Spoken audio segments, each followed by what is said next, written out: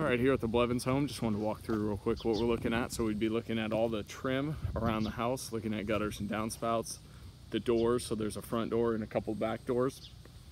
Uh, we'd just be doing the garage door trim at this time um, based on color. So the garage doors may be added onto the quotes um, depending on the color that's chosen for uh, the, the, little bit of siding that's up here. But um, that's something that we can figure out moving forward. Um, but then you've got all these kind of decorative pieces here. Um, you've got one small piece where the homeowner has this uh, little trim piece at the peak there uh, that we would need to reinstall. But then you've got like I said, the trim, you've got this front porch area and the columns to be redone. Gonna go with pretty similar colors on everything. Areas that need to be recaulked and sealed up. You've also got areas um, of peeling that need to be scraped and primed.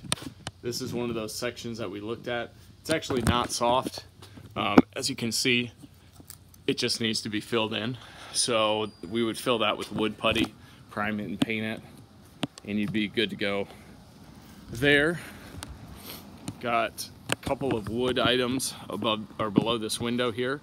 So this bottom board right here under the window and then this board to the right. These one by sixes need to be replaced.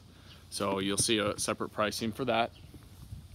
And then everything else just looks like it's kind of worn as far as joint separation and stuff. No other wood repair on the sides.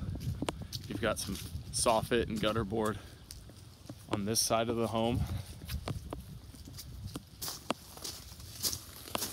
Around back, you'll have a separate price for caulking around the windows. So all of this will be recaulked to seal up to prevent any of the environment, the cold weather, the rain, the moisture getting inside your home. So then you've got soffit, gutter board, gutters along the back. You've got a door here. Then you've got a door over here uh, the garage access door that would be painted. You've got this one by eight right here that needs to be replaced. About five, five foot or so that needs to be replaced. And then caulking around doors, the door frames, all of that would be part of our painting process. Paint the lintel here, um, put a primer to stop that rust from coming through. And then again, like I said, you've got boards where you've got cracks that just need to be recaulked and sealed so that they don't continue to get worse. Got areas that, uh, like on this gutter here all the way back that need to be power washed really well to get kind of that black mold growth off of it.